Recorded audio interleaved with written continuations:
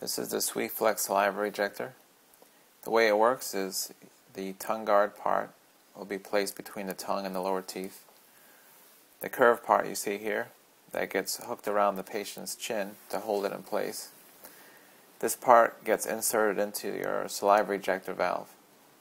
The suction comes from two little holes on each side here and then a main slit right there.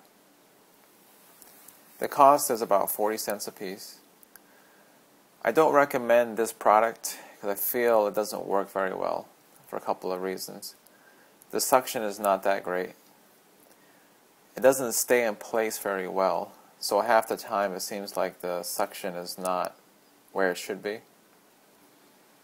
And it doesn't retract the tongue, it just kind of, you know, sits between the tongue and the, and the teeth. So if a patient has a strong or wild tongue, I don't think it's going to hold it in place very well.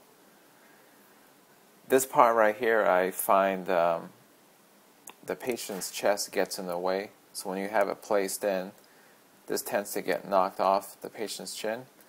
So what I do is just bend this like this to kind of keep it away from the patient's chest, just to keep it in place.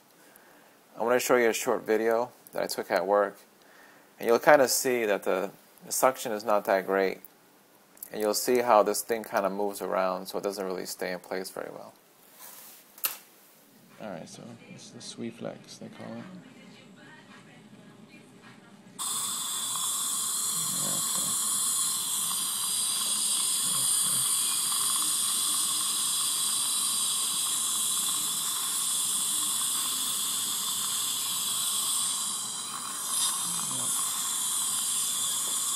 Spray a little water with this one.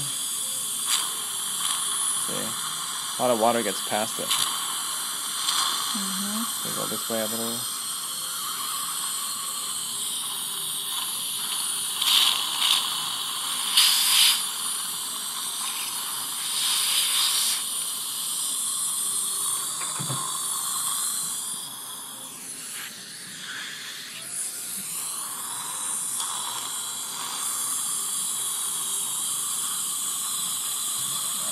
I don't like it that much.